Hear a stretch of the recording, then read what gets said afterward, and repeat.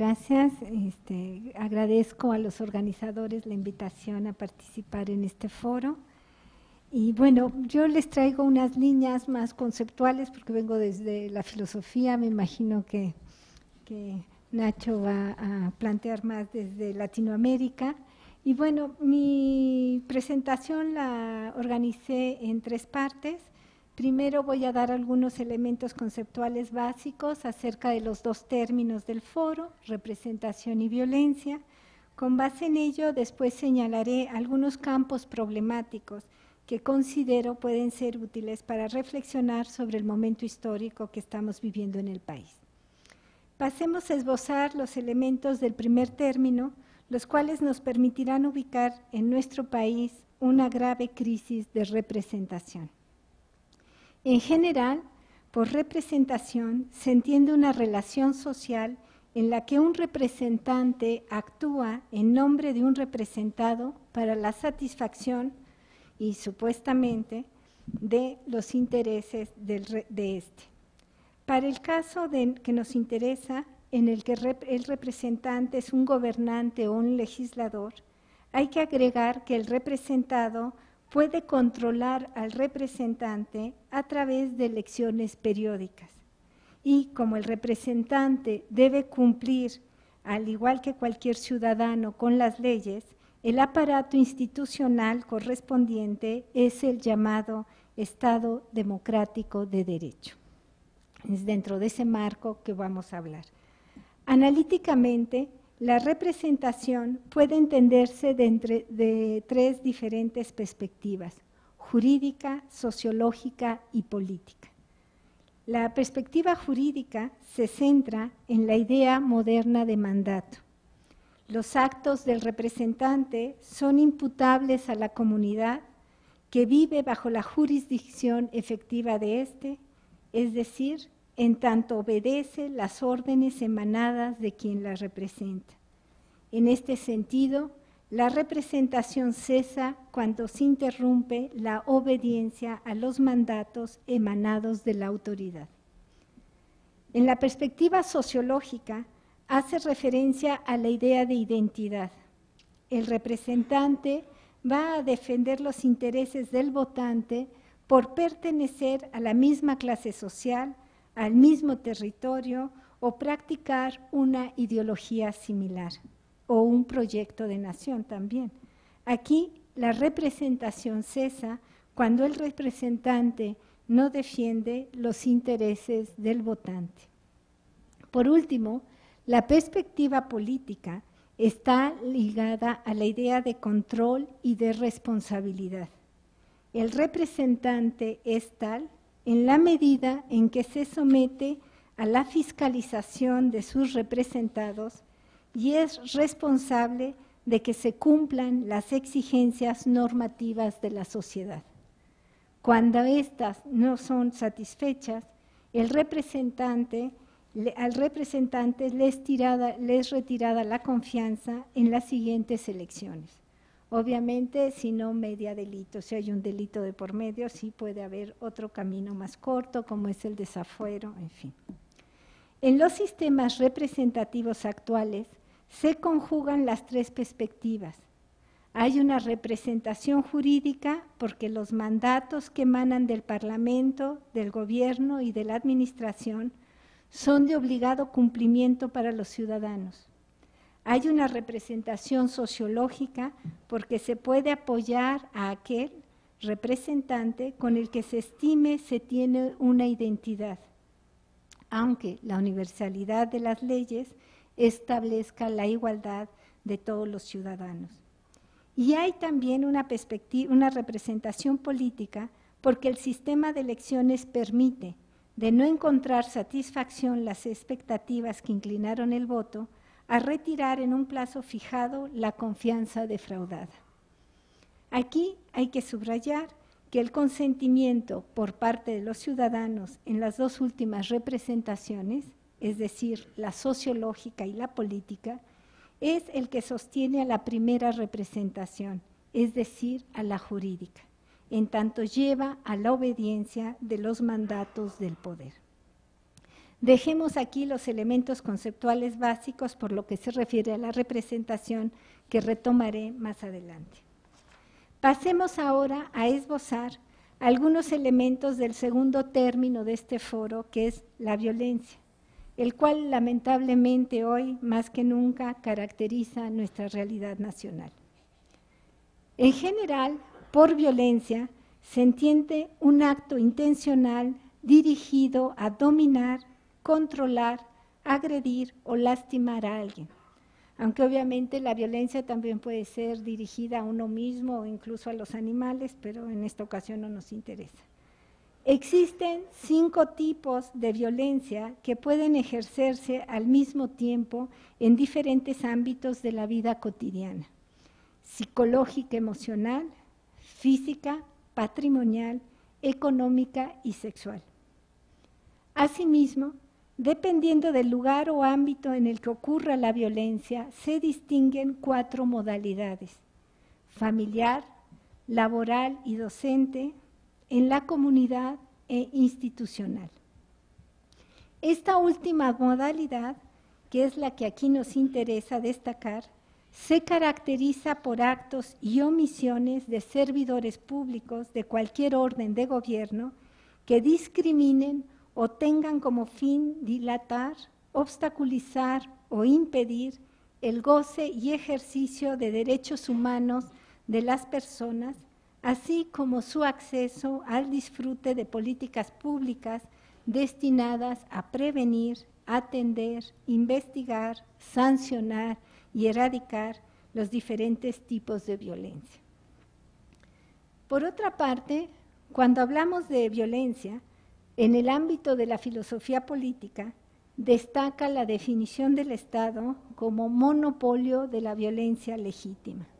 Es decir, el Estado controla el uso de la coacción o fuerza violenta, ya sea para producir las relaciones existentes de poder o para suprimir las relaciones que amenacen con perturbarlas.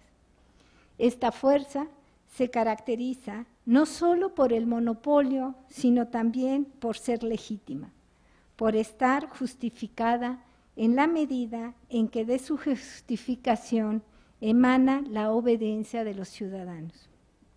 Actualmente, la principal fuente de legitimidad es la aplicación de los procedimientos instituidos para producir las decisiones vinculantes, como son, por ejemplo, las elecciones, el procedimiento legislativo o el judicial.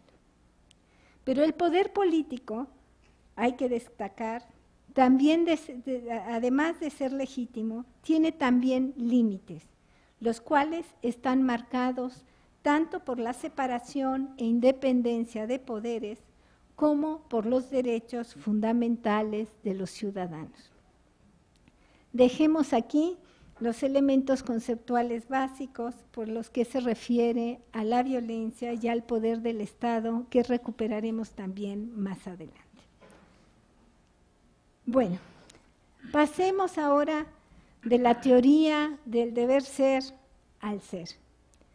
Como señalamos, delineamos algunos campos problemáticos que pueden ser útiles para reflexionar sobre el momento histórico que estamos viviendo. Tanto la representación como el monopolio de la violencia legítima y los límites del poder político descansan en los supuestos de un Estado democrático de derecho. Aquí pueden surgir varios problemas, tanto en el ámbito del término democrático como en el de, del derecho. Ya desde las últimas décadas del siglo pasado, se hablaba de las promesas no cumplidas de la democracia, así como de sus paradojas y perversiones. Recordemos algunas de ellas. Entre las promesas no cumplidas estaba que los sujetos políticos dejan de ser los individuos autónomos, sino pasan a ser las grandes organizaciones que no necesariamente son democráticas. Este problema ya se había vislumbrado desde hace décadas. Otro es el de la representación política que debería perseguir los intereses de la nación o de la comunidad y más bien acaban siendo guiados por los intereses de algún grupo o de varios grupos. El principio de libertad como autonomía para participar en las tomas de decisiones ha quedado relegado con la conformación de élites políticas el poder ascendente de la democracia no ha ocupado todos los espacios que debería ocupar. Tampoco ha logrado el control público del poder que pretendía eliminar los arcana imperi, es decir, que fuera pública todas las tomas de decisiones.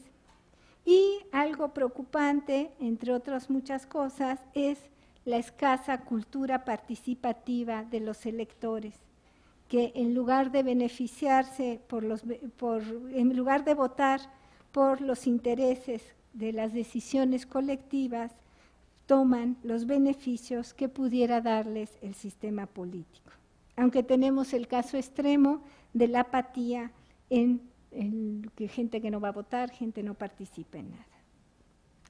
Bueno, no voy a enumerar todas las, las paradojas ¿sí? que podemos encontrar en la democracia, pero me quiero este, centrar solo en dos efectos perversos que ya se había señalado y que creo que son unas de, los, de las esferas problemáticas sobre las que deberíamos reflexionar hoy en día. Uno es que la representación política tiende a volverse una representación de intereses. Esa es una paradoja o un efecto perverso de la propia democracia. El Estado contemporáneo no se manifiesta como una voluntad colectiva y se presenta más bien como una inmensa transacción entre diversos intereses a través de acuerdos informales. Los recursos públicos se utilizan como si fueran privados, es decir, para favorecer a un determinado ciudadano que a cambio ofrece su voto. En este proceso se da una privatización de lo público. Las relaciones que deberían ser públicas, indirectas e impersonales, características de las relaciones de los representados con los representantes, pasan a ser privadas, directas y personales, que son las que caracterizan las relaciones entre patrón y cliente. El otro ámbito es que uno de los principales planteamientos de la democracia es la publicidad del poder. Las acciones de quien detenta el poder pueden ser controladas públicamente solo si son visibles. Pero el advenimiento de los estados constitucionales modernos ni la formación de la opinión pública han podido eliminar el fenómeno del poder oculto, del poder que se esconde para ser más invulnerable.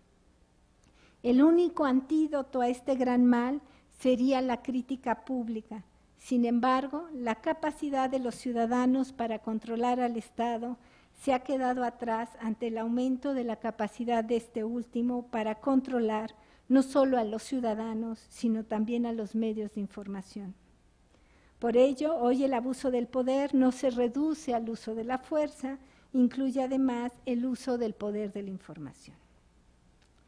Dejo aquí estos dos campos problemáticos de la democracia que creo que están en juego hoy, y no solo aquí en México, sino también en otras partes del mundo. Les digo, desde los años 70 se discutían estas cosas, pero yo creo que hoy en México saltan muchísimo más de lo que ya lo habíamos visto antes, porque hay que ver qué pasa con el Estado de Derecho en México.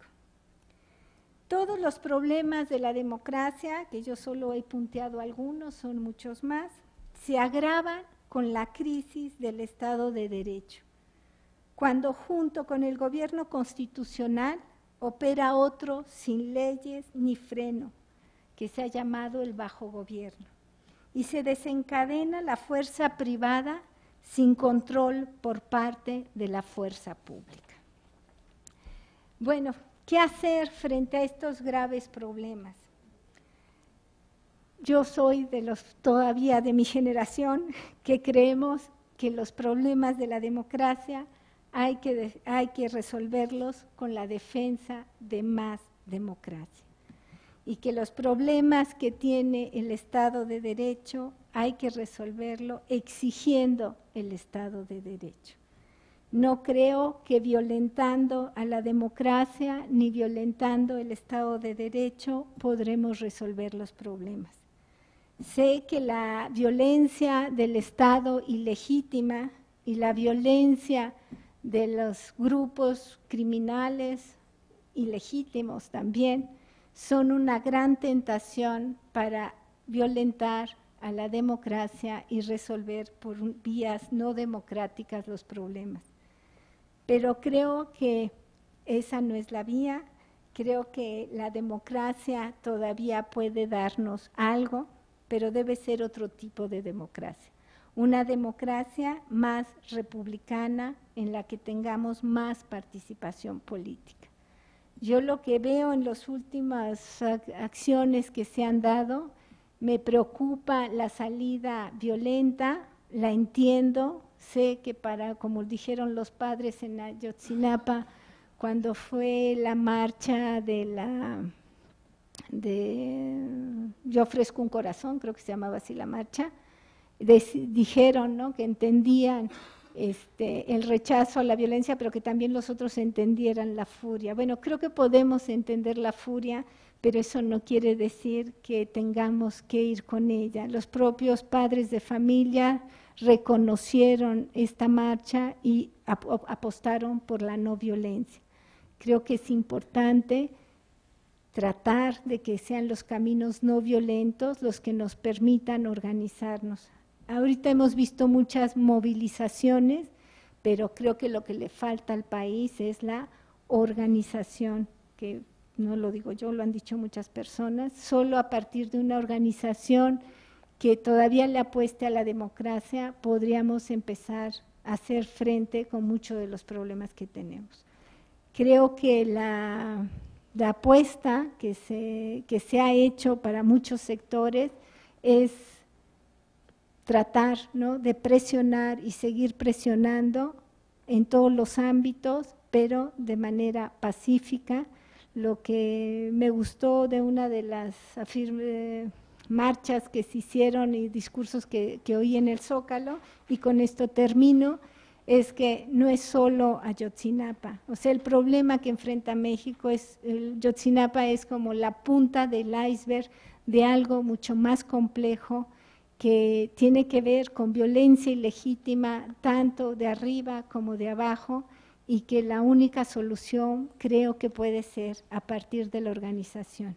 Pensar en una democracia republicana que venga conformada desde abajo, dentro de los distintos espacios, pero que pueda darle una salida al país hoy.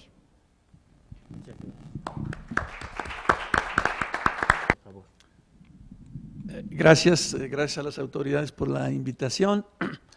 A esto que yo entiendo más que un foro académico, un foro cívico, un foro de ciudadanos que tenemos una misma preocupación sobre cómo actuar en una circunstancia como la que estamos viviendo. Y eh, tan así lo entiendo que se llama mesa de diálogo para que haya un intercambio de opiniones, intercambio entre ciudadanos iguales que tienen, reitero, una misma preocupación. No se trata de una exposición en la que alguien expone un criterio de autoridad, sino en la que eh, un ciudadano común y corriente, un ciudadano de a pie, eh, se dirige a otros que pueden ser colegas o pueden ser alumnos, pero reitero, todos eh, ciudadanos. El motivo que nos convoca es una profunda crisis económica y política por la que estamos pasando, misma que nos plantea la pregunta de qué hacer, cómo contribuir para superarla, porque ya sabemos cómo se generó lo que a todos nos inquieta en el fondo es cómo lo vamos a superar. ¿A qué nos referimos? Sino a la representación. Cuando hablamos de crisis política, cuando hablamos de crisis política estamos hablando de una crisis de representación. No estamos hablando de otra cosa, sino que ya los cauces institucionales quedaron rebasados. La representación es un término con múltiples significados en los que generalmente los ciudadanos prestamos poca atención. Uno de estos significados se refiere al voto, pues mediante este elegimos a quien nos represente. Pongo mucho retintín en la representación, eh, eh, que ya ah, la doctora Di Castro mencionó. Este nivel se encuentra hoy en la picota, porque si bien nadie discute que las autoridades electas, senadores, diputados, presidentes municipales, gobernadores, cumplieron con los requisitos formales para representarnos, la manifestación en las calles, los reclamos en actos de resistencia pacífica, nos muestran que el debate no se da en los recintos institucionales, sino que se da precisamente en la calle. Cuando los individuos se expresan directamente en la calle, los mecanismos representativos institucionales quiere decir que están fuera de cauce. Cuando en la plaza pública, no en la Cámara del Congreso, vuelve, como en la democracia directa, a ser el escenario principal, en el que no existen representantes, la calle vuelve a ser el escenario, lo cual significa que los ciudadanos estudiantes y los ciudadanos no estudiantes prescinden de sus representantes para expresar sus puntos de vista. Así las cosas, nadie podrá objetar, dada la magnitud de las manifestaciones locales, de las manifestaciones a lo largo y ancho de la República, que la representación está en crisis. No, nos, eh, no desviemos nuestra atención de este fenómeno. No veamos lo que se grita, sino que veamos que ahora la atención está focalizada en el ciudadano de a pie, en ustedes y en mí, no en nuestros representantes. El complejo tema de la representación política requiere de un ejercicio de imaginación que ni Borges ni García Márquez por separado o juntos, hubieran podido separar. Eh, el doctor eh, Edmund Morgan señala que por ser nuestra creencia eh, lo de la democracia representativa, ya creemos que así es. No, esto es un producto, es una invención de carácter histórico, que vino a sustituir la creencia prueba en la divinidad de los reyes, que era una creencia. Pero la divinidad de los reyes quedó fulminada cuando surge la noción de soberanía popular. Ahí es donde empieza el merequetengue en el cual nosotros estamos inmersos. Pero eso es un ejercicio de imaginación. No es que siempre haya sido la soberanía popular la fuente de toda la autoridad. No lo era. Bueno, continúo así. Veamos, su parte sustantiva, que persigue superar la acción, la participación directa. La participación directa es el enemigo mortal de la democracia representativa. Ahí estamos ya en dos campos. Cuando salimos y nos manifestamos en las calles, estamos atentando contra la democracia representativa. Eh, En esta, la democracia directa, el individuo por sí mismo se expresa, por sí mismo razona y por sí mismo, y ahí es donde aparece la cola del diablo, se compromete. Por sí mismo, en lo individual, yo, Nachito Sosa, me comprometo. En la democracia representativa, alguien a través del cual yo estoy presente se compromete por mí y yo estoy obligado a hacer lo que esa representación dijo. Así funcionó la democracia en Grecia y esa es la diferencia con la democracia moderna, es decir, representativo. La República Mexicana es federal y representativa. Esta opera a través de figuras interpósitas que desempeñan el papel del ausente, como si éste estuviera presente. Por eso digo, no digo yo, dicen todos los teóricos, que es un ejercicio de imaginación. Mi representante es como si yo estuviera presente, como si. A nadie escapa que se trata de una ficción, un juego en el que el individuo pretende desdoblarse para estar al mismo tiempo en dos lugares haciendo cosas diferentes. Una versión reducida de los poderes de Dios, que esté en todas partes, en todo lugar y en todos los tiempos. Nosotros como ciudadanos estamos en dos lugares, en el mismo lugar, digo, eh, al mismo tiempo y haciendo cosas distintas. Esta experiencia, relativamente reciente, es la piedra sobre la que se fundamenta lo que los teóricos de la filosofía política llaman la ficción de la soberanía popular, misma que sucedió, como apunté, a la ficción del derecho divino de los reyes. Imagínense esas ficciones tan poderosas, ¿no? Que la gente en su imaginario pensara que el rey estaba en ese lugar por la voluntad de Dios, tú me vas a representar. Y la gente lo creía. Así como nosotros creemos que el diputado, el senador, el presidente municipal es lo mismo, es una creencia. Por eso es tan peligroso lo que está sucediendo. Esta especie de juego, esta convención que descansa íntegramente en el cómo sí, se basa, reitero, en el supuesto de que el individuo, sin estar ahí físicamente, está presente a través de un representante que adquiere obligaciones en nombre del representado, los cuales éste está obligado a obedecer. Eh, tenemos todo esto, bueno, los historiadores tienen todo esto perfectamente estudiado, saben cómo surge esta idea de soberanía popular, cómo el rey de Inglaterra convoca a los súbditos y les requiere y les exige que vengan como representantes del pueblo, de la comunidad, de sectores de la sociedad. Pero les exige que deben llevar, perdón por el latinajo, plena potestas. Es decir, que deben llevar plenos poderes. Si ustedes si ven Canal 11 y están interesados en el conflicto que están viviendo, verán que los estudiantes no tienen plena potestas. Discuten como si la tuvieran.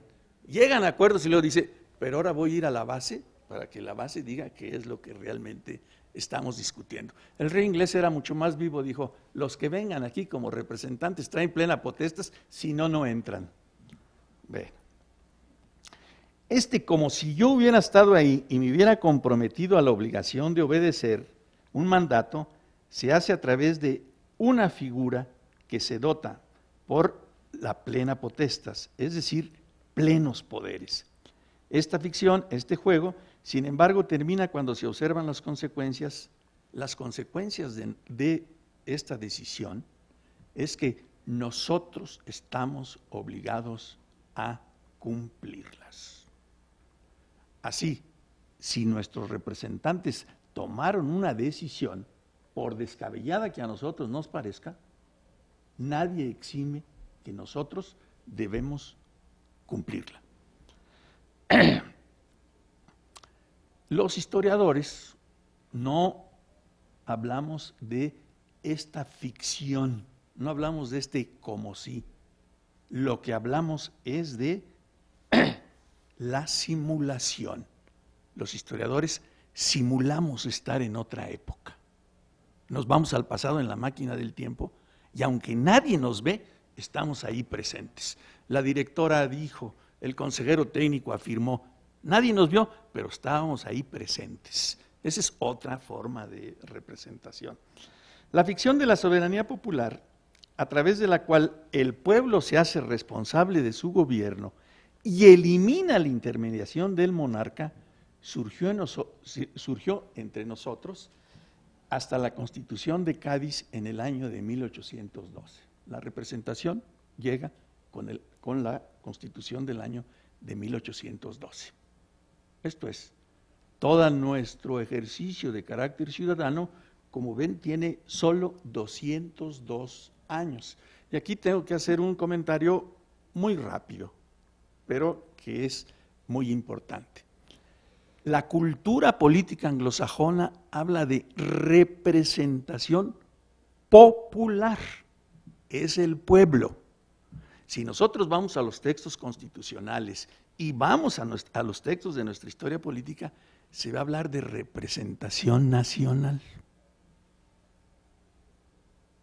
Los representantes o son del pueblo o son de la nación.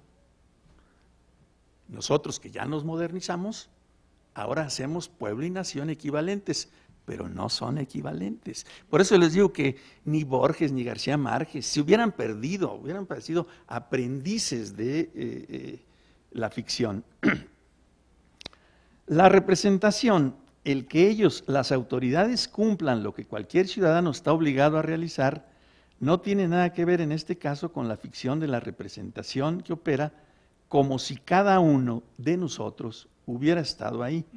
Tampoco significa una carta blanca para que el criterio de las autoridades se impongan sobre el criterio del pueblo. En los debates que eh, se produjeron aquí en, la Nueva España, en tránsito a, convertirse en, México, vamos a ver cómo este problema de la representación, a través de eh, la, figura de Fray Servando Teresa de Mier, es muy clara los representantes eh, a, la, constituyente de 1822 eran, tenían una cultura política que venía de la monarquía.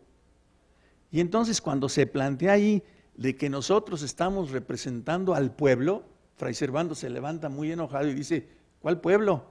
Yo no soy mandadero del pueblo, yo represento a la nación y lo que yo digo, con otras palabras, es es lo que debe hacerse. Esta relación de la cultura anglosajona que dice el gobernante es el mandadero del pueblo, o el que, el que cumple el mandato del pueblo, no pertenece a nuestra cultura. Esto es lo que ahora está en crisis y esto es lo que la participación de los jóvenes está poniendo en evidencia. La representación no hace de las autoridades nuestros mandatarios, no nos arrebata nuestra visión de la justicia, no desaparecen, no desaparece con ellos nuestro problema de conciencia. De ahí la indignación, porque cada uno de nosotros se sintió ofendido, cada uno de nosotros se sintió agraviado y que en el Congreso no se haya tomado eso, automáticamente deslegitima, en mi opinión, nuestra representación. Estas, ya me voy a dar prisa ¿eh? porque son muchos comentarios. Eh, estas acciones, de acuerdo al, discurso oficial, las acciones directas son algaradas, desórdenes de personas que desconocen los mecanismos institucionales, pero para quienes participan en ellos, para quienes van en la marcha, significa, su significado es distinto porque la, entienden como expresión de un verdadero orden. En las calles nosotros vemos la confrontación de dos imaginarios. El imaginario del orden, que ve esta manifestación como desorden, y desde la perspectiva de los eh, participantes, lo ven como la exigencia del orden verdadero. Pero en los dos casos, lo que está en juego es el orden, no el caos, no el desorden. Eh, esto, por una parte, eh, un aspecto importante de la representación, el que, aquí nos, el que aquí nos inquieta, es sobre la forma en que en nuestra cultura política, no en los textos, no en las abstracciones filosóficas, sino como cada uno de nosotros, cada uno de nosotros entiende por la figura de autoridad y en particular sobre la figura del presidente de la República, centro de todo nuestro sistema político.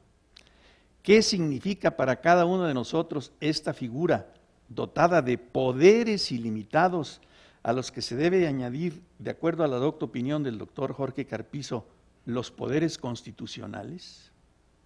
Fíjense que la cultura anglosajona aspira a que el pueblo limite al poder. La cultura, nuestra cultura política, quiere que el máximo eh, representante, nuestro mandatario, tenga poderes ilimitados. Aquí hay una contradicción que es muy importante. En los días que corren, lo que fue considerado por los constituyentes del 57 y del 17 una solución, se ha convertido en un problema, el principal de nuestra vida política, porque pese a la acumulación de poderes, el sistema político se encuentra paralizado y el diseño constitucional según el cual la solución para los grandes problemas del país era la de la figura presidencial, a la cual se le permitía invadir impunemente las esferas del problema legislativo y del Poder Judicial, está entrampado. La pregunta es, ¿puede existir justicia en un régimen en el que se concentra el poder y en el que no se sancionan las invasiones bárbaras? El término no vayan ustedes a pensar que está escrito por un eh, por gentes que desconocen. El término invasiones bárbaras está desarrollado por los padres de la democracia estadounidense. Cuando, otra vez más, la cultura anglosajona, que a lo que más le teme es a la concentración del poder, y por eso señala, para que podamos vivir en seguridad, para que podamos vivir tranquilamente, debemos en primer lugar dividir el poder. Y, todo el, y toda la arquitectura constitucional es para que el poder esté dividido.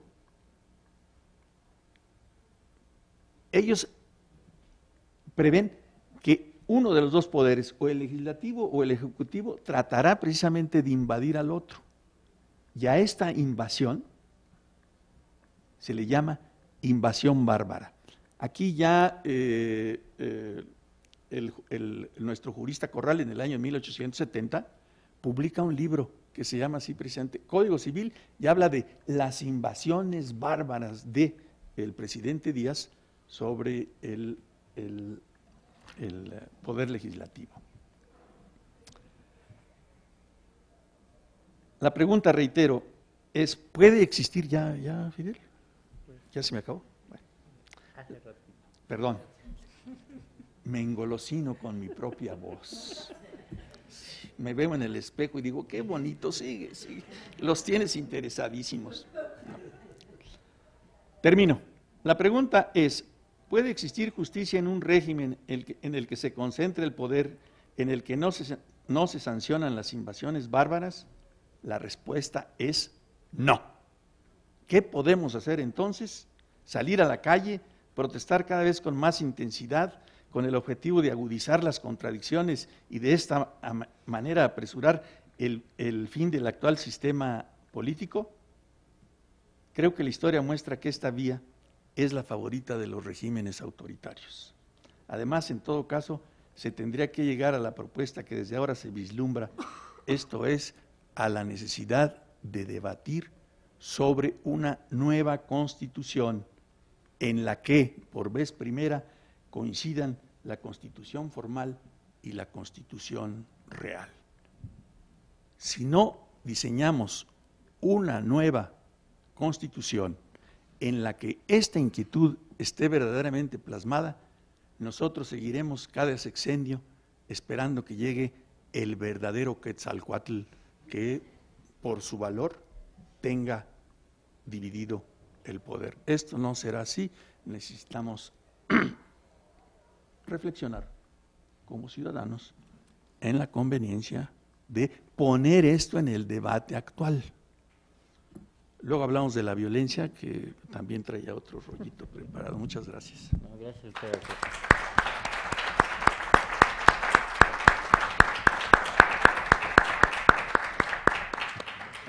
Bueno, entonces, eh, pues procederíamos a precisamente de darle la palabra para poder eh, opinar, comentar sobre lo que han presentado nuestros eh, nuestros ponentes. Eh, ah, perfecto.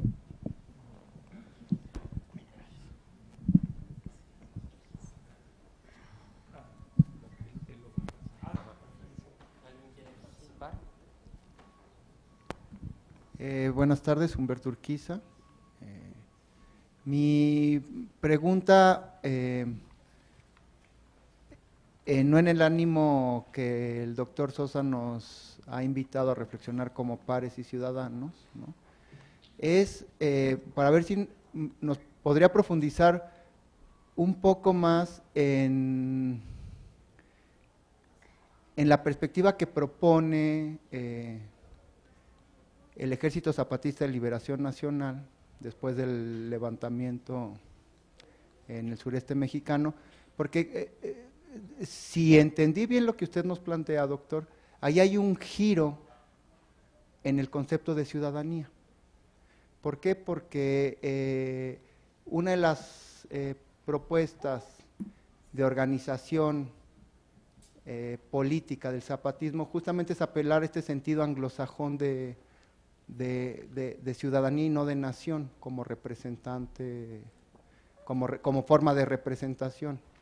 Entonces, no sé si esta, este giro dentro de la idea y forma de entender la representación del movimiento zapatista viene a influir de forma directa a esta nueva, a esta nueva eh, corriente que desde mi perspectiva eh, con todos sus eh, problemas y contradicciones, intenta simular el movimiento estudiantil del 99 y se ve expresando con esta cuestión de, también con sus propias contradicciones y sus fallas, los movimientos posteriores, principalmente los movimientos estudiantiles, que son los que yo he, seguido de forma más atenta. Entonces, tendrá que ver con un giro al concepto de, representación más en el sentido anglosajón, como usted lo menciona, o cómo podemos eh, entender, entender esto, y si el zapatismo tiene algo que ver. A ver, si quiere, este, escuchamos una primera ronda de preguntas para Marlene, por favor. Buenas tardes. un poco en, el mismo sentido de la construcción de alternativas, escuchándolos a los dos, evidentemente lo que estamos viendo es el vaciamiento de los conceptos teóricos. ¿no?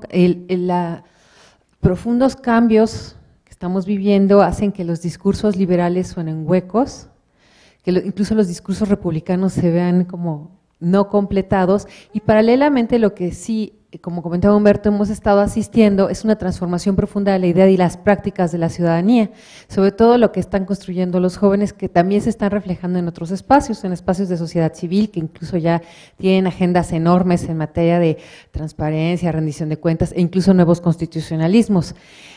Eh, el punto al que quiero llegar es cómo podemos ir empatando esta carrera entre teorías que se van quedando detrás, con realidades que van un poco más avanzadas y consensar e ir construyendo una reflexión muchísimo más profunda de la idea de ciudadanía, desde la idea de lo que se están produciendo en los estados latinoamericanos, así con estas violencias, estos estados alternos que se están también percibiendo, y cómo poder entonces construir de otra manera nuevos pactos políticos, como comentaba el doctor Sosa, estos nuevos pactos políticos que son urgentes, pero que tienen que incluso ir integrando ideas novedosas, ¿no? No solamente eh, lo que van generando movimientos sociales o el mismo zapatismo o incluso estas ideas que vienen del cono sur como el buen vivir y un montón de nuevos conceptos con el que pareciera que la teoría mainstream está peleada y cómo podemos ir entonces reintegrándola y acomodándola para ir generando debates que no suenen huecos, sino que vayan produciendo realmente formas de comunidad política novedosa y que respondan a realidades regionales. Sería todo.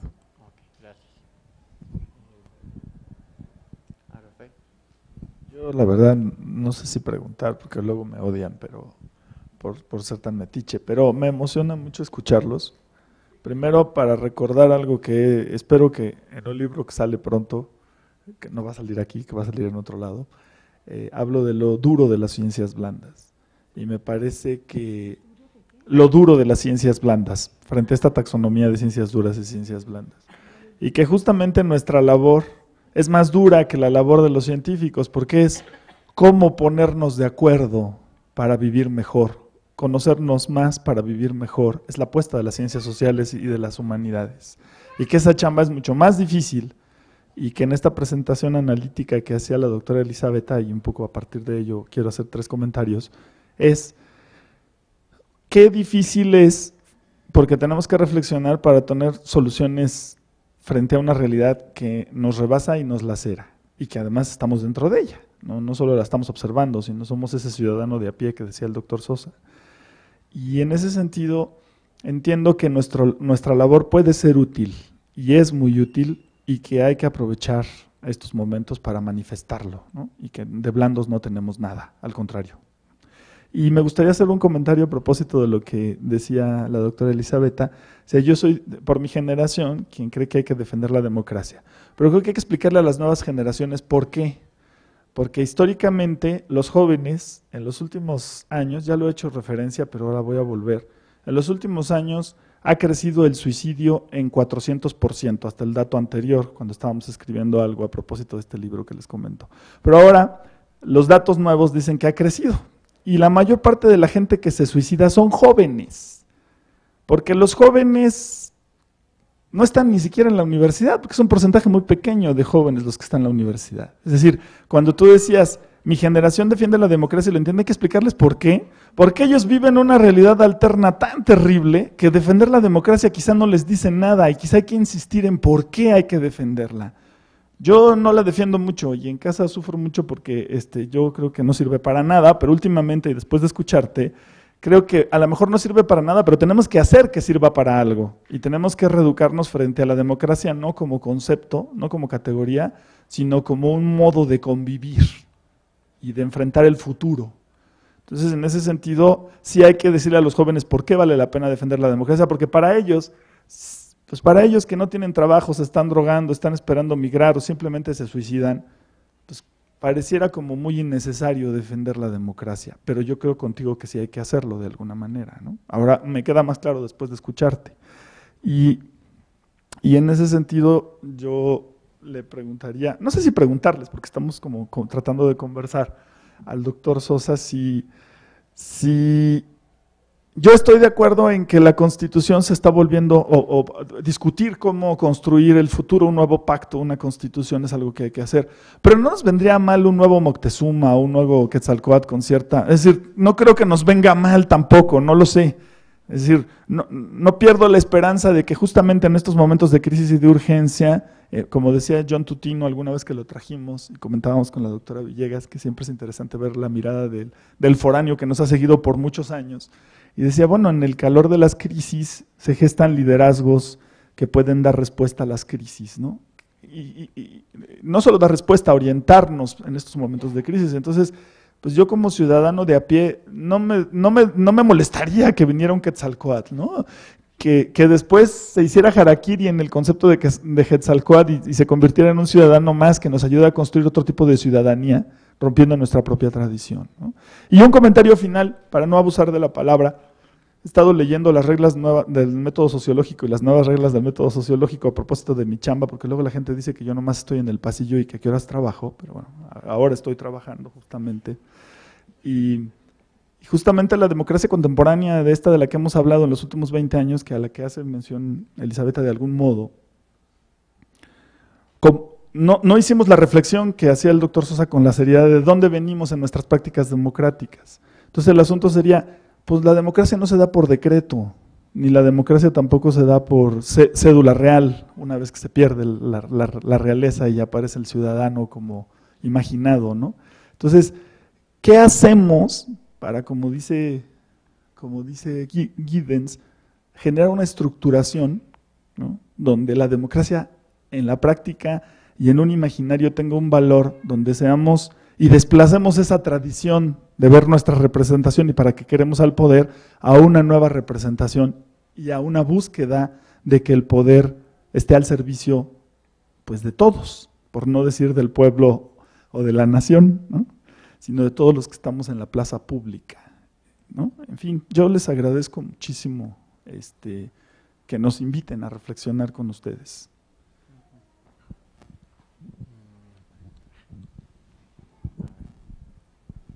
Ya que estamos preguntando pura babosada, yo me sumo. A ver, en realidad a mí me, me genera un...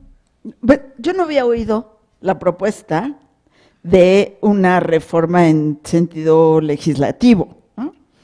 Eh, supongo que tendría alguna articulación con la, con la propuesta que hacía Elizabeth en términos de una democracia, eh, de la exigencia de, más democracia, o de una comprensión distinta de lo que es la democracia. Y me parece que así, que está padre la idea y que sí tendríamos que pensar en una constitución distinta, pero estando las cosas como están y eh, pensando en términos más inmediatos, me preocupa un poco la idea de que, vamos, hay claramente en el movimiento eh, más o menos generalizado un desprecio absoluto por los partidos políticos, con toda la crisis de representación que estos se han ganado a pulso.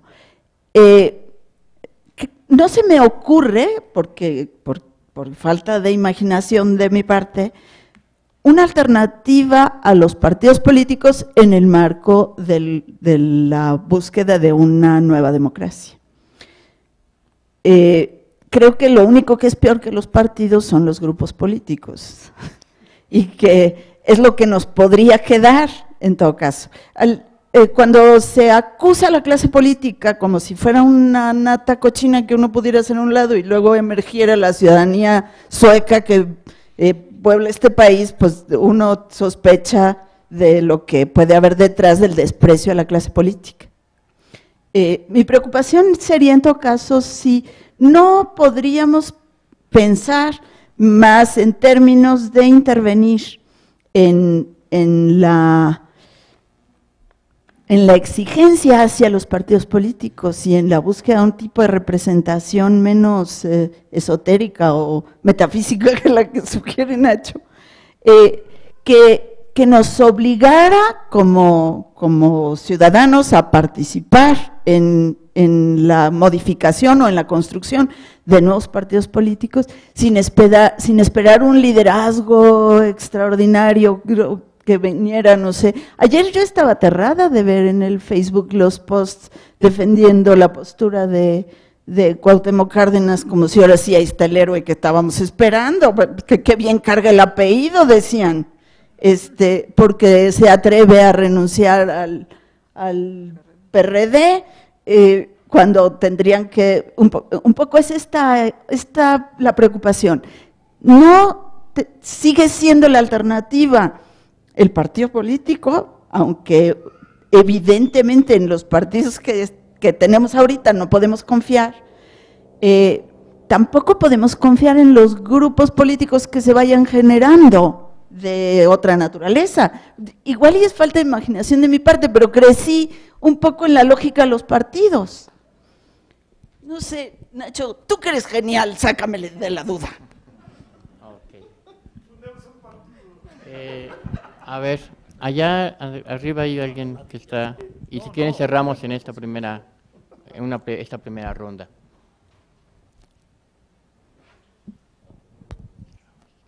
Bueno, buenas tardes. Eh, soy alumno del posgrado de Historia del Arte y me topé con el foro. No sabía que, iba a ocurrir, vine por un café y de pronto me, encontré con Ignacio Sosa que me dio clase hace muchos años y, me, llamó la atención el tema.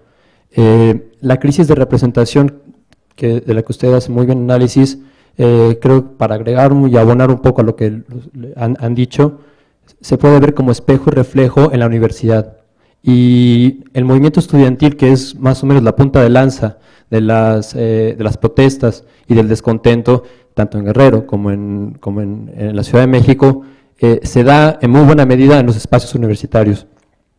Ese abandono que sentimos por el gobierno, eh, que sentimos de parte del gobierno, también lo hemos sentido de, de, parte de las autoridades universitarias. El día que ocurrió el baleado, el día que ocurrieron los incidentes del Che Guevara, y hubo un compañero baleado y un, coche con policías eh, abandonado en, afuera de la facultad, eh, no, encontramos respuesta eh, suficiente, expedita, oportuna por parte de las autoridades universitarias. La crisis de representación es total y en buena medida creo que se pueden hacer un, una analogía entre lo que pasa allá afuera con lo que pasa aquí adentro. Y los modelos que se han exportado de los partidos políticos, de los grupos políticos, de las mafias políticas, se ha importado a la universidad. Nosotros, los alumnos del posgrado en particular, que es a donde he estado yendo a las asambleas, pero en general eh, toda la organización estudiantil sí se define apartidista, se, se, trata de desligar de toda esa podredumbre política, de la que la universidad es en eh, muy buena medida depositaria, y eh, estamos tratando de inventar, como usted dice, una nueva eh, estrategia que, elimine la, simulación.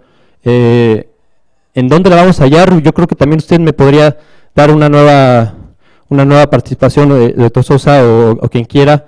Si hay una nueva constitución o si se, esa es la solución, también debería hacerse una reforma integral a, la universidad y a, todos sus mecanismos y reglamentaciones antidemocráticas. Gracias.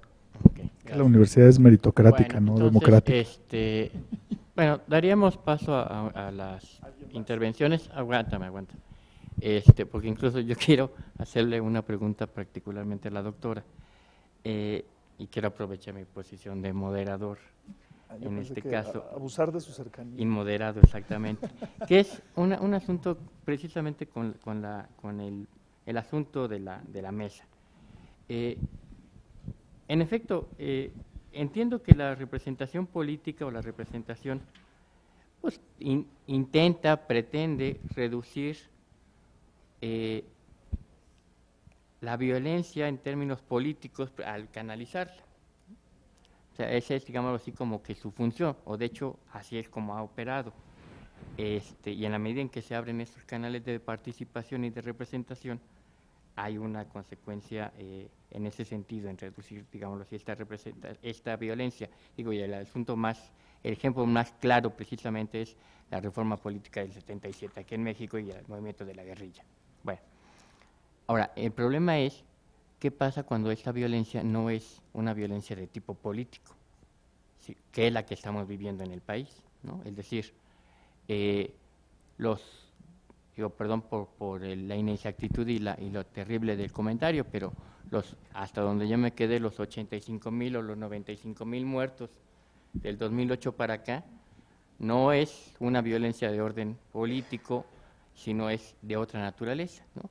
¿Cómo cómo engarzar precisamente esta, esta problemática en términos precisamente de estos dos asuntos que extraordinariamente planteo, en términos de el Estado democrático de derecho y el Estado y la condición de la democracia o la calidad de la democracia, ¿no?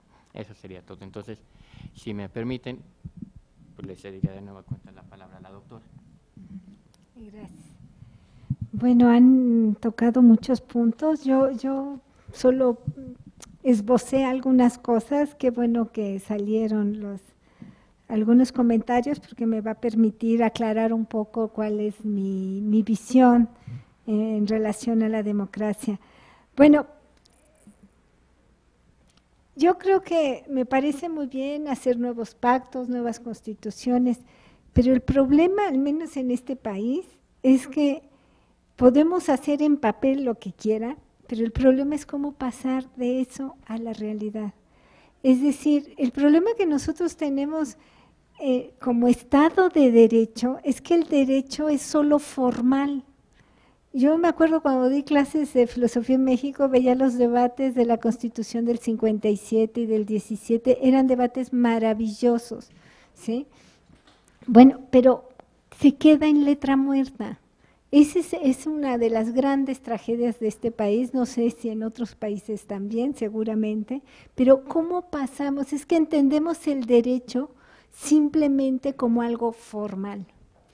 Este, yo entiendo cierta reticencia a, a, conceptos abstractos, pero no necesariamente los conceptos abstractos son necesariamente vacíos. Esta idea del bien vivir, es la característica de la política, desde Aristóteles. La tarea de la política es el bien vivir. Si nosotros no vivimos bien en este país, es que la política está fallando. La política no está cumpliendo con su función.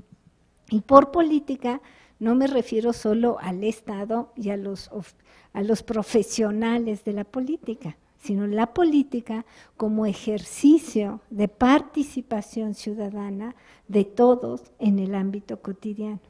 A mí yo insisto mucho en el problema del Estado de Derecho, porque como no tenemos Estado de Derecho, entonces tiramos el niño con el agua sucia. No, es una tragedia que en este país no haya la vigencia del Estado de Derecho. Si mal no me acuerdo, la primera pronunciamiento de los zapatistas era denunciar eso, que no había derechos para ellos en Chiapas. yo creo que uno de los problemas es seguir pensando el derecho como algo formal. Hay grandes discusiones no solo en el extranjero, en este país también, en donde el derecho no puede ser simplemente letras muertas, sino tiene que ser algo que acompañe la vida cotidiana de las personas y en ese sentido colabore en el bien vivir de las personas.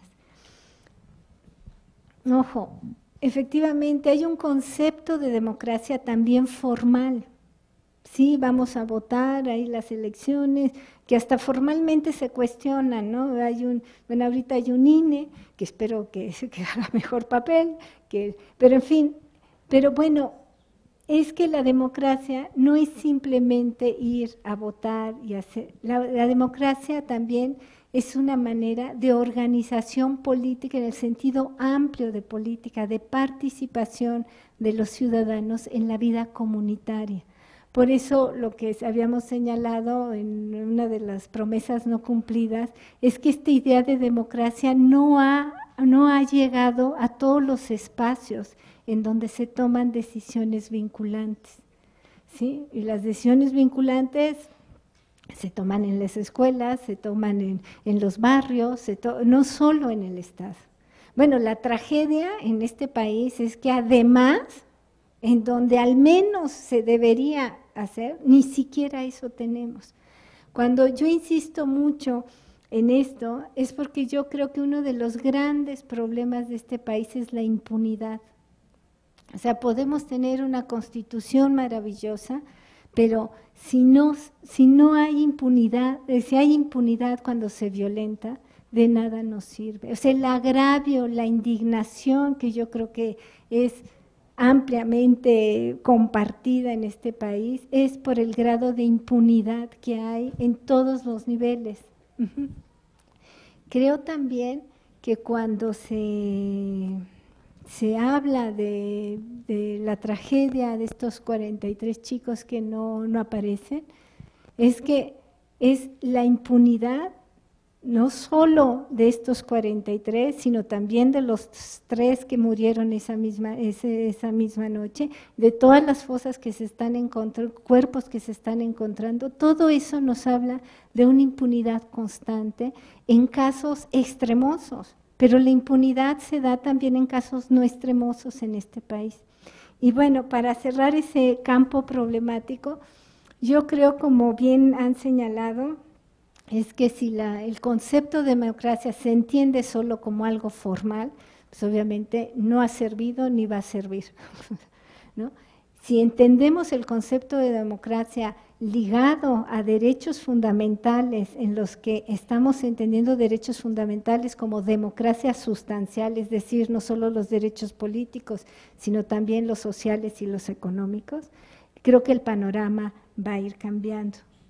Y esto no es gratuito, no es gratuito que tengamos una democracia formal, incluso formal con tantos defectos, con tantas limitaciones. Estoy completamente de acuerdo con Nacho. Efectivamente, es un supuesto olímpico creer que nos representan, incluso los que nosotros hemos votado.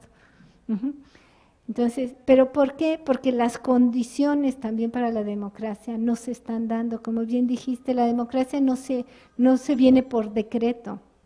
La democracia es una manera también de vivir y una de las maneras de vivir democráticamente es que tengamos unas condiciones mínimas de justicia y de igualdad. Las grandes injusticias que hay en este país, en todos los niveles, no solo económicos, educativos, de respeto a la diversidad, en fin, suman todas las, todas las injusticias que quieran, y que nosotros tenemos una larga lista, son los que no le dan sentido al concepto de democracia. Pero si entendemos la democracia en ese otro nivel de derechos sociales y económicos, ¿sí? es que podríamos empezar a vislumbrar otro concepto de democracia. Y yo no echaría a la basura tan rápido el republicanismo. Si te interesa el bien vivir, la, parte, la comunidad, la construcción este, de sentido comunitario, creo que la, la vertiente republicana puede aportar, ¿no? Bueno, por último, nada más quisiera agregar, efectivamente, pensamos la democracia en términos formales y, siempre ligado a partidos políticos. Bueno, hay experimentos ¿no? de candidaturas de, de, independientes, ¿no? de ciudadanos, que tienen todos sus problemas. ¿Por qué? Porque no tenemos toda la estructura organizativa. Yo creo que uno de los de las grandes cosas que dentro de la tragedia o que está pasando en este país es que las personas salen a la calle, pero salen a la calle no porque estén pidiendo otro orden, sino que están exigiendo el orden. Ellos están exigiendo que no haya impunidad, que se castigue a los culpables, que se hagan investigaciones serias. Eso es lo que están exigiendo los padres. Y lamentablemente, ¿cuántos padres, cuántos hijos, cuántos hermanos no pudieron salir a las calles en su momento porque eran casos aislados? Y claro, hubo más represión. Aquí, por fortuna, bueno, por fortuna, si es una comunidad la que se está levantando y la voz por eso puede ser más independiente. Y bueno, yo lo que creo en relación a la violencia no política es que cuando hablamos de violencia política, parecería que solo es la violencia que viene desde el Estado.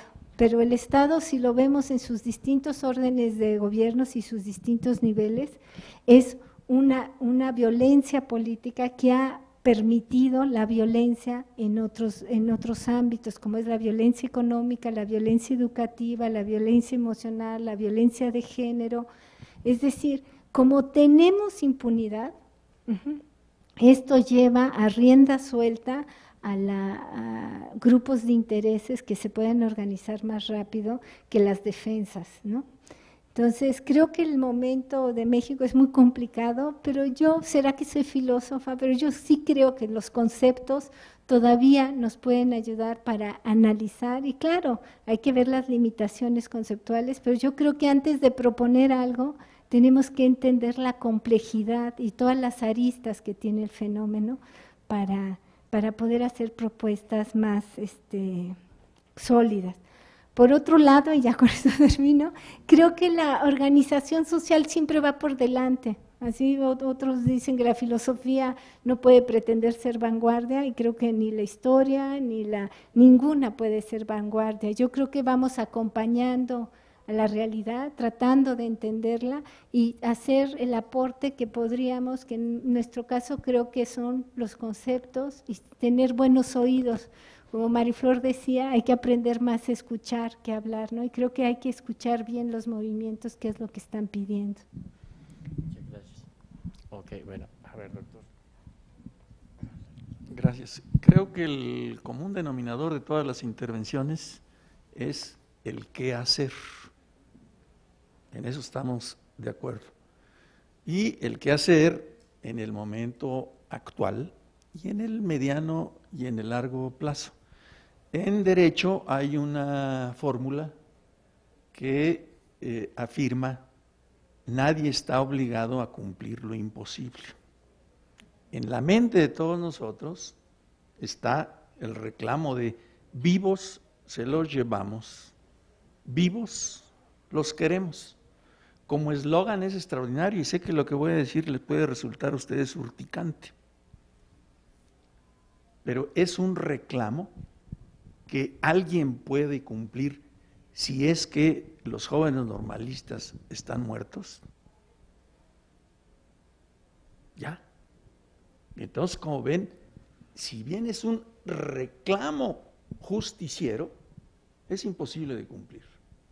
Es decir, ya en el mismo reclamo estamos nosotros orientando la reacción del Estado. Eso que nos quede claro. No, no podemos detenernos nada más en la expresión, sino en medir la consecuencia. Y aquí la consecuencia que nosotros estamos viendo es evitar la violencia. Eso es lo que, lo que yo creo que de un modo u otro eh, está, en, está en nuestras mentes. Luego, debemos distinguir lo urgente mediático de lo verdaderamente urgente que es la modificación de nuestra estructura política. Hay que, hay que establecer una jerarquía. Eh, el recién estrenado doctor Urquiza eh, menciona que un elemento que está en la mente de todos nosotros, principalmente los viejos como el de la voz. Les voy a leer el artículo 39 de la Constitución Política de los Estados Unidos Mexicanos, que a la letra dice, la soberanía nacional reside esencial y originalmente en el pueblo. Todo poder político, todo poder público dimana del pueblo.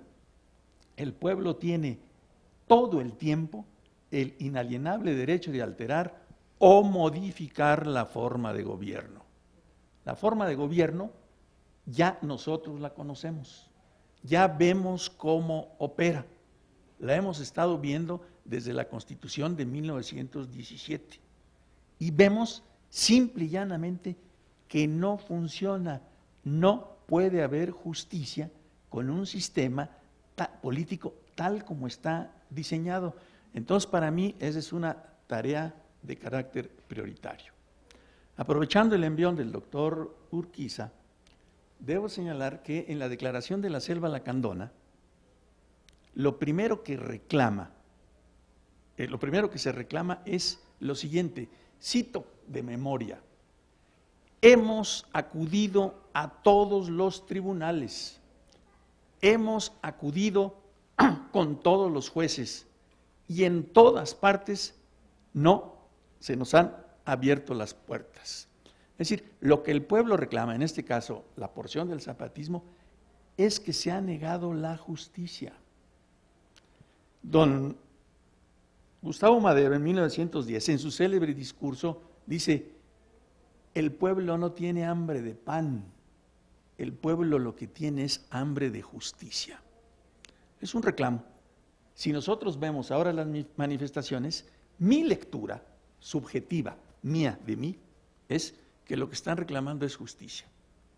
Y lo que el gobierno no da es justicia. Yo me quedo con eso. Entonces no importa la buena voluntad, aunque digan que están cansados y que ya se quieren ir, simplemente la estructura no va a permitir que se imparta justicia.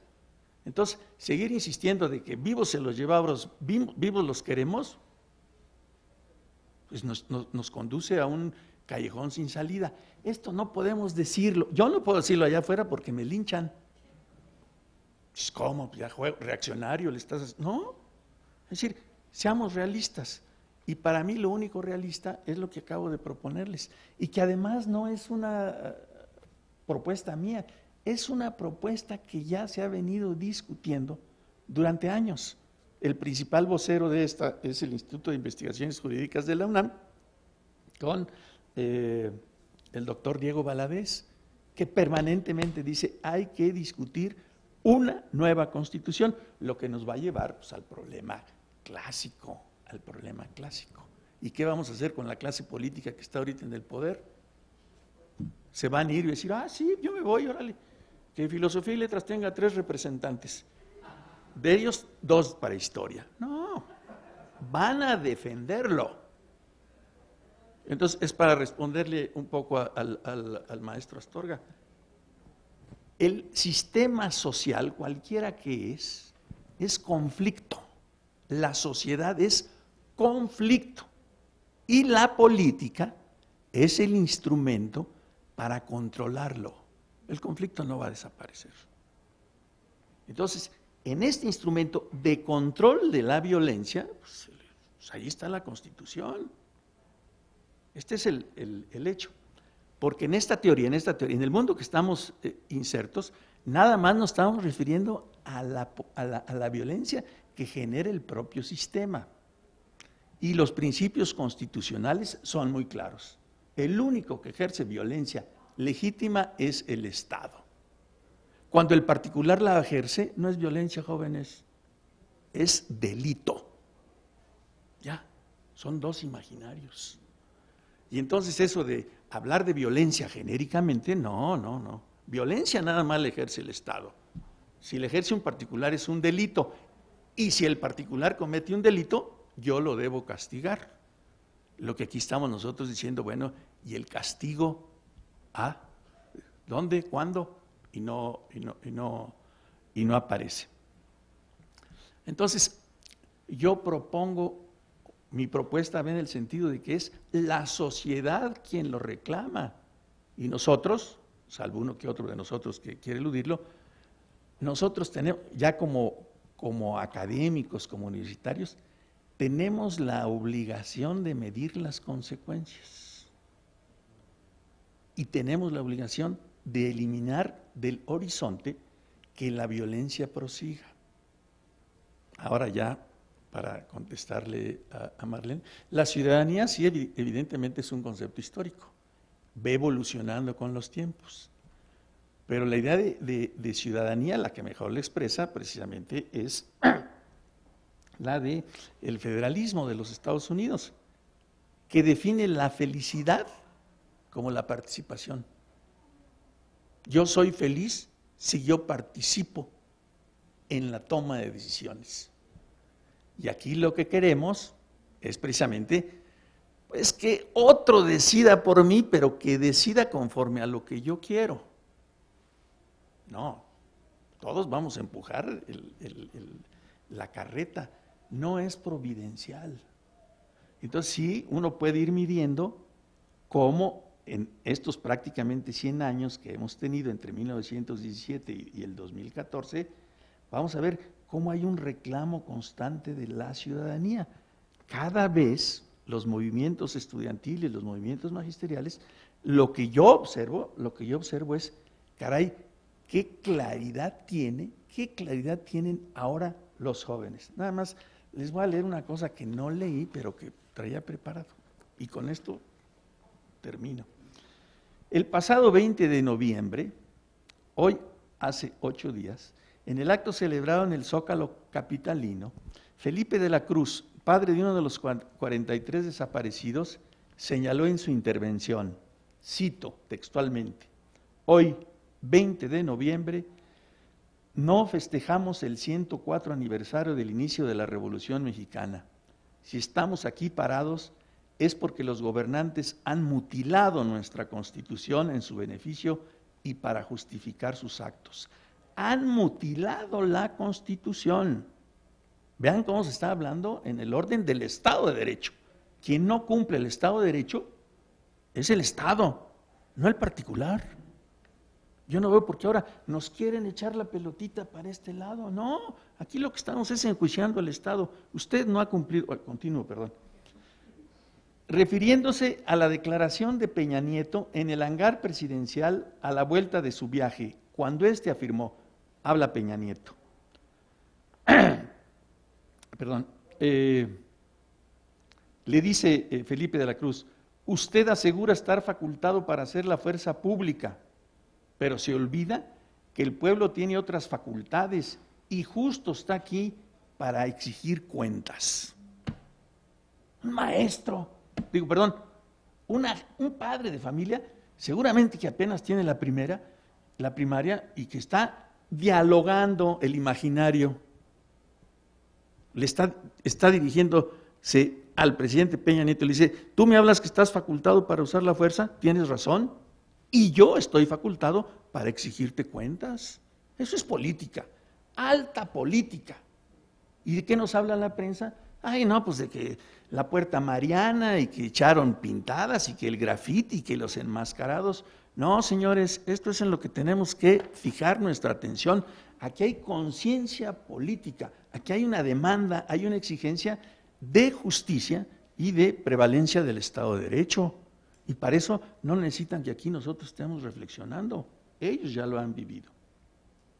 Es obvio que las cuentas que menciona el Señor de la Cruz se refieren todas a la justicia, o mejor dicho, a la ausencia de esta. Es la justicia el elemento que separa el estado de naturaleza del estado de derecho. Si no hay justicia, si no hay justicia, ¿qué hay? No puedo estarle yo reclamando, haz justicia, haz justicia, porque mientras esta llega, ¿cómo se define el Estado? La situación, ¿cómo se define? Se define en términos teóricos como estado de naturaleza. ¿Y cuál es el estado de naturaleza? El estado en el que todos luchamos contra todos y en el que prevalece el más fuerte. Entonces, cuando uno analiza lo que dice Peña Nieto, lo que dice eh, eh, Murillo Caram, hace que el corazón, que el mío es grande y generoso, se achique y tiemble. Porque no se dan cuenta que estamos viviendo la pura violencia. Porque dice, son los narcos, son estos grupos, son aquellos. No, Señor, es de tu competencia. Porque la única, la única exigencia que nosotros le hacemos al Estado es que nos brinde seguridad a nosotros y a nuestros bienes y a nuestras instituciones. Si el Estado no ofrece esa seguridad que la Constitución demanda, pues ni modo que le hablemos al Chapulín Colorado. Tenemos que remitirnos a nosotros mismos. Y así como no sirve el Estado, no sirven los partidos políticos. Pero no es que no sirvan. El Estado sirve y los partidos políticos sirven, pero no los que tenemos ahorita. Y entonces por eso les digo, yo entiendo a los jóvenes, pues que ya quieren mañana justicia, pues sí, pero yo he sido, entre otras cosas, marchista profesional. Desde más o menos chavo allá ando marche, marche, marche, ya, ahora sí, ya, ya. Y llegué a viejo y seguramente seguiría marchando si no reflexiono como ahora y que digo, es necesario un cambio radical y mientras más pronto mejor. Repito, esto de una nueva constitución, yo creo que es ya el resultado de una serie de gente pensante, reflexiva, realmente preocupada por que todos nosotros tengamos una vida digna. Con esto termino.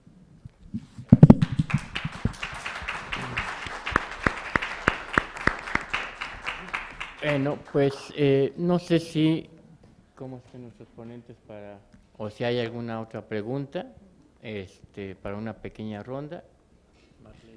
Marlene. Muy breve. Sí, sobre este asunto de, de, los conceptos filosóficos realmente me parecen importantes y los valoro profundamente, si no, no podríamos hacer ningún tipo de labor de pensamiento. A lo que yo me estaba refiriendo es a cómo los conceptos son utilizados en la vida cotidiana y en la realidad. Hay unos, eh, la catalogación de calidad de democracia, que es un tema que está muy vigente en la ciencia política, la genera sobre todo Leonardo Morlino. Si uno hace el checklist de la democracia mexicana, hasta hace dos años era perfecta. ¿no? Elecciones limpias y transparentes, sí. Este, Estado de Derecho en las leyes, sí. Leyes de transparencia y rendición de cuentas, ya check. O sea, todo es un checklist. Cuando lo estamos confrontando con la realidad, es una vergüenza lo que estamos viviendo. Ese es el punto, la construcción de los conceptos en la mirada de la vida cotidiana. No, me parece que es lo que tenemos que hacer. Y las emergencias de cómo las personas van a utilizar la idea de buena vida, por ejemplo, hoy, con millones de sujetos, con una población que nunca habíamos tenido una población con tantos jóvenes, y esos jóvenes educados, que no encuentran sentido al espacio. ¿Cómo replantear estos viejos conceptos en condiciones cotidianas y de vida y de calidad y de estas nuevas formas de hacer democracia que, como dice el doctor Sosa, ahorita estamos en la disputa de todo, de cómo reimaginarnos la república y la vida cotidiana y la buena vida y la ciudadanía. Me parece que sobre todo es, esa atención es a eso, porque si a conceptos vamos, bueno, pues, este, siempre sacamos 10, ¿no? Y la república está hecha a pedazos. Bueno, ¿alguien más? Ya, Fefer, tranquilo. No, solo para comentar que, que, es un tema que ronda, que es la violencia. La violencia, en un sentido ampliado, queda claro que la violencia es de Estado, lo otro es un delito, pero hay, hay, vivimos violencia, por decirlo de algún modo. ¿no? Y lo que creo es que las ciencias todas han ayudado a secularizarnos y desacralizaron la vida misma o nuestras ideas de vida, nuestros imaginarios de vida, y no nos han ofrecido una alternativa. Por eso, en este tiempo que nos tocó vivir, no hablo de largo plazo al que se refiere el doctor Sosa, donde estoy de acuerdo que todo es muy reciente, pero en este cronotopo nuestro, las cosas han pendulado muy rápido, ¿no? De, respetar la vida de cierta manera, aún siendo cruentos entre nosotros, la Revolución Mexicana es cruenta, pero la idea de nuestras nociones de vida han, han, hecho que la vida, como yo suelo decir, no vale nada, ¿no? como dice José Alfredo. Y eso es un problema importante para, para atender en la construcción de, de, lo que venga, ¿no? Es decir, el papel de la vida y unos derechos que amplíen nuestra, nuestra noción de vida, ¿no? ¿Qué es la vida? La nuestra, no la de los animales, porque luego ya los filósofos defienden últimamente más a los animales que a los humanos. No Elisabetta, por supuesto, pero muchos otros sí, y eso luego me angustia mucho, ¿no? Pero creo que hay que considerar esto también, considerar cómo desde las propias disciplinas que se practican en la universidad inventamos una idea de vida que ahora me parece que nos ha nos estalla encima, ¿no? Es un comentario.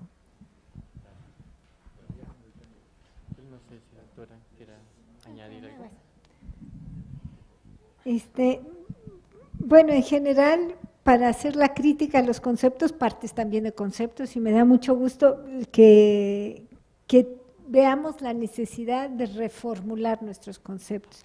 Yo creo que todos los conceptos que tenemos de la modernidad han estallado, ¿sí? En la, sobre todo, ahorita nosotros siempre estamos hablando a nivel del Estado, pero todos estos problemas no los podríamos tampoco entender si no vemos cuestiones un poco más amplias, ¿no? Como el Tratado de Libre Comercio, globalización, en fin, o sea, hay muchas cosas que tendríamos, son aristas que deberíamos tomar en cuenta para ver por qué México está como está y no hemos pasado, ¿sí?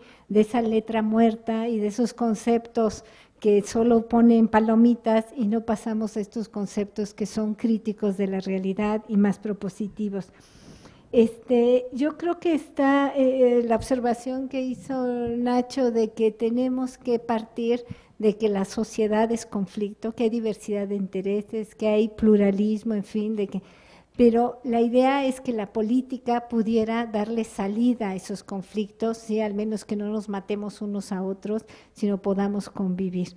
Este, a lo largo de la, historia se han planteado distintas cosas, pero lo que sí es claro es que los logros que se puedan, que se han hecho o que se puedan hacer no es una sesión cortés desde el poder o desde el Estado.